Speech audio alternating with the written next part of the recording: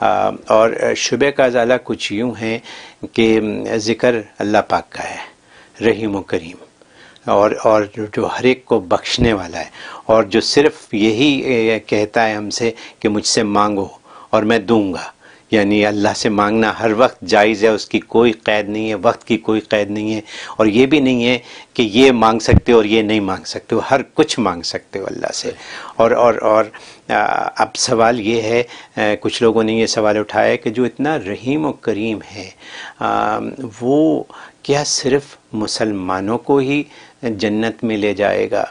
ایسے مذاہب جیسے کرسچینٹی ہے، جیسے جوڈیزم ہے، جن کے اوپر کتابیں بھی آئی ہیں۔ تو کیا وہ لوگ جنت میں نہیں جا پائیں گے؟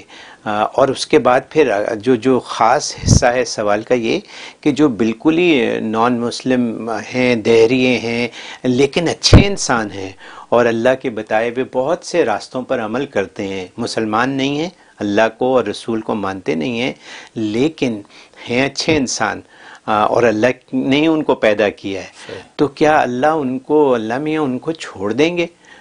ہمیشہ کے لیے دوزخ میں چھوڑ دیں گے آگ میں جلائیں گے. یا یہ کیا ہوگا؟ تو یہ لوگوں کا یہ بڑا کنفیوژن ہے کہ اسلام جو کہ انتہا سے زیادہ رحم دل اور رحم کرنے والا مذہب سمجھا جاتا ہے. ہر ایک کی جانوروں تک کی حفاظت کا ہمیں حکم ہے. تو یہ اللہ میاں کیسے کریں گے؟ کچھ کنفیوژن ہے اس میں ہمارا کنفیوژن دور کیجیے آپ۔ بکیا ویڈیو دیکھنے سے پہلے ویڈیو کو لائک کریں رحم ٹی وی چینل کو سبسکرائب کریں اور بیل آئیکن پر کلک کریں۔ شکریہ۔ اچھا شبہ ہے یہ جی۔ ہوتا ہے۔ جی۔ آج کی دنیا میں یہ شبہات اٹھتے ہیں دماغ میں۔ اس پر مجھے ایک واقعہ یاد آیا۔ جی۔ تاریخ میں یہ واقعہ لکھا ہے۔ مصر کے مفتی اعظم تھے شیخ عبدو۔ جی۔ شیخ عبدو۔ ان کے دور کا واقعہ ہے کہ اس وقت کا جو وقت کا بڑا پادری وہ اور بہت بڑا رہبائی وہ اور خود شیخ عبدو یہ یہ گویا کہ انٹرفیت کا ایک اجتماع ہوا۔ وہاں یہ سوال اٹھایا گیا کہ جنت میں کون جائے گا؟ جنت میں صرف مسلمان جائیں گے یا صرف یہودی جائیں گے یا صرف جو عیسائی جائیں گے جنت میں کون جائے گا؟ یہ جو سوال اٹھایا گیا اور یہ انٹرفیت ہوا اور ان بڑے بڑے اکابر کو اکٹھا کیا۔ جی۔ سب سے پہلے شیخ عبدو کھڑے ہوئے۔ اور یہ مفتی اعظم مصر تھے انہوں نے کہا جی آپ اس بارے میں بتائیں. شیخ ابزو نے بڑی بڑی ٹیکنیکل نقطے کی بات کی۔ انہوں نے کہا کہ اگر یہودی جنت میں جائیں گے تو ان کے ساتھ ہم بھی جنت میں جائیں گے۔ کیونکہ وہ موسیٰ علیہ السلاۃ والسلام پر ایمان لانے کی وجہ سے جنت میں جا رہے ہیں۔ تو رات کی تصدیق کی وجہ سے جنت میں جا رہے ہیں۔ تو موسیٰ کو ہم بھی پیغمبر مانتے تو رات کی تصدیق کرتے ہیں لہٰذا ان کے ساتھ ہم بھی جنت میں جائیں گے۔ اور اگر عیسائی جنت میں جائیں گے تو عیسائی اس لیے جنت میں جائیں گے عیسیٰ علیہ السلاۃ والسلام کو مانتے ہیں اور انجیل کی تصدیق کرتے ہیں۔ درست۔ کہا یہ ہم بھی کرتے ہیں۔ ہم عیسیٰ السلام کو اپنی آنکھوں کا سرما اور تو انجیل کو سر کا تاج سمجھتے ہیں۔ لہٰذا عیسائیوں کے ساتھ مسلمان بھی جنت میں جائیں گے۔ درست۔ لیکن کہا کہ اگر ہم جنت میں گئے تو صرف ہم ہی جنت میں جائیں گے پھر دوسرا کوئی نہیں جائے گا۔ کیونکہ ہم اسے جنت میں جائیں گے کہ محمد صلی اللہ علیہ وسلم کو ہم مانتے ہیں قرآن کی تصدیق کرتے ہیں اور یہ دونوں کا ہم نہ عیسائی کرتے ہیں نہ یہودی کرتے ہیں۔ لہٰذا وہ محروم رہ جائیں گے ہم اکیلے جنت میں جائیں گے۔ کیوں؟ اس لیے کہ وقت کے پیغمبر کو ماننا جی۔ اور آسمانی کتاب کی تصدیق ہی تو جنت میں لے جانے کا ایک جو وہ معیار ہے۔ جی۔ ان کے پاس جو معیار ہے اس پر ہم بھی پورا اترتے ہیں۔ ہمارا جو معیار ہے اس پر وہ پورا نہیں اترتے۔ ان کے لیے جو ہے وہ لمحہ فکریہ ہے کہ وہ سوچیں کہ وہ جنت میں جانے کا راستہ کیسے بنائیں گے۔ جی۔ جبکہ ان کے پیغمبر نے ان کی کتابوں نے کہہ دیا کہ ہمارے بعد والے جو پیغمبر نبی آخر و آ رہے ہیں اس پر ایمان لے آؤ گے تو تمہارے لیے جنت کا راستہ کھلے گا۔ نہیں لاؤ گے تو ظاہر ہے کہ بھٹک جاؤ گے رسوا ہو جاؤ گے۔ تو یہ انہوں نے مختصر اس کے اندر جب یہ جواب دیا جی۔ تو لکھا ہے تاریخ میں کہ وقت کے جو رہبائی اور پادری آئے تھے وہ لاجواب ہو گئے انہوں نے کہا ہمارے پاس مزید کہنے کے لیے کچھ ہے ہی نہیں اٹھ کر چلے گئے۔ تو حقیقت اصل میں یہ ہے کیونکہ اللہ تبارک و تعالیٰ نے ایک کرائٹیریا متعین کر دیا ہے اور یہ دنیا کے اندر بھی ہر چیز کا ایک کرائٹیریا ہوتا ہے۔ اگر امریکہ کی سٹیزن آپ کے پاس نہیں ہے آپ جتنے بھی اچھے انسان ہیں آپ کو وہ بینیفٹس نہیں مل سکتے جو ایک سیزن کو ملتے ہیں۔ یہ دنیا کا عام قانون ہے۔ اب اگر میں بڑا اچھا آدمی مجھے آپ گرین کارڈ دے دیں۔ بڑا اچھا آدمی مجھے آپ سٹیزن دے دیں۔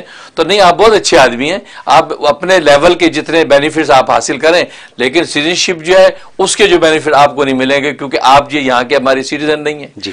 بالکل اسلام کی سٹیزن شپ جس کے پاس نہیں ہے تو اللہ تبارک و تعالیٰ نے آخرت میں معیار متعین کر دیا کہ بھئی وہ فرمایا کہ وَمَنْ يَبْتَغِي غَيْرَ الْإِسْلَامِ دِينًا فَلَنْ يُقْبَلَ مِنْهُ جو اسلام کے علاوہ کوئی دوسرا مذہب لے کر کل میرے پاس پیش ہوگا تو وہ قبول نہیں کیا جائے گا۔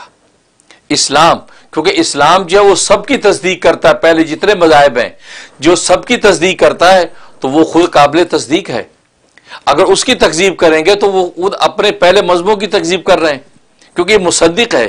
تو جو مصدق ہوتا ہے، تو مصدق کی آپ اگر تقزیب کر دیں گے، تو آپ اپنی بھی تقزیب خود کر رہے ہیں۔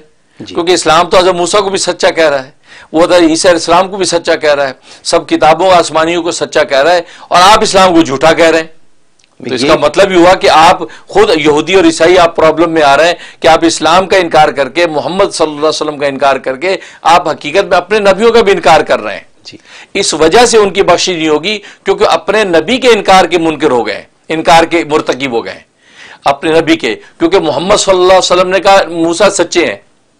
انہوں نے کہا کہ محمد جھوٹے ہیں۔ جی۔ تو انہوں نے یہ کہہ کے تو اپنے وہ موسا کی بھی تقزیب کر دی نا۔ جی ہاں۔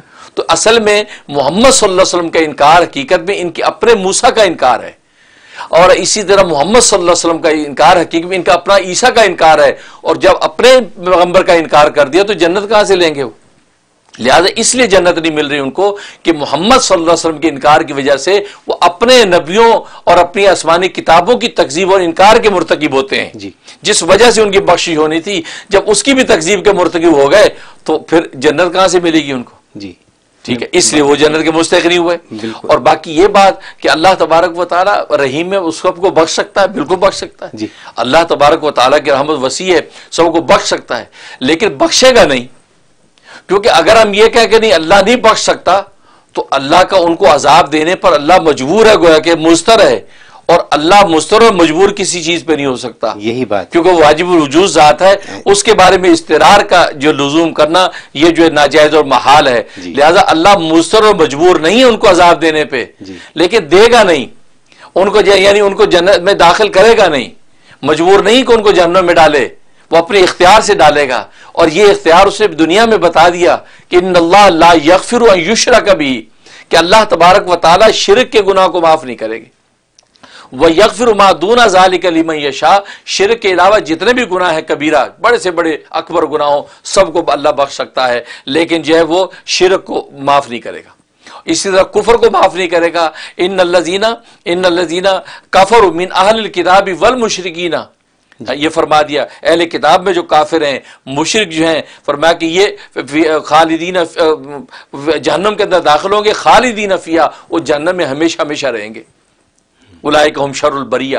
تو معلوم ہے کہ اللہ تبارک و تعالی خود ایک کرائٹیریا متعین کر دیا ہے کہ کافر مشرق جو ہے وہ ہمیشہ ہمیشہ جنم کے اندر جلیں گے۔ اگر وہ بخشی چاہتے ہیں تو وہ محمد صلی اللہ علیہ وسلم جو سارے دینوں کے مصدق بن کے آئے ان کی تصدیق کر دیں۔ تو اس تصدیق کی وجہ سے آخر میں ان کے لیے بخشش بھی ہے اور ان کے لیے جنت بھی ہے۔ اور تصدیق کا مطلب یہ ہے کہ اسلام قبول کر قبول کر لیں بالکل۔ جی، تصدیق جی، کا مطلب جی۔ یہ ہے نبی پاک صلی اللہ علیہ وسلم سچا نبی مانیں اور قرآن کریم کی تصدیق کر دیں کہ یہ سچی کتاب ہے جو اس نے کہا۔ تو گویا کہ وہ مسلمان ایمان لے آئیں تو مسلمان ہو جائیں تو اس کا نتیجے میں وہ آخر بھی جنرل کے مستحق جی۔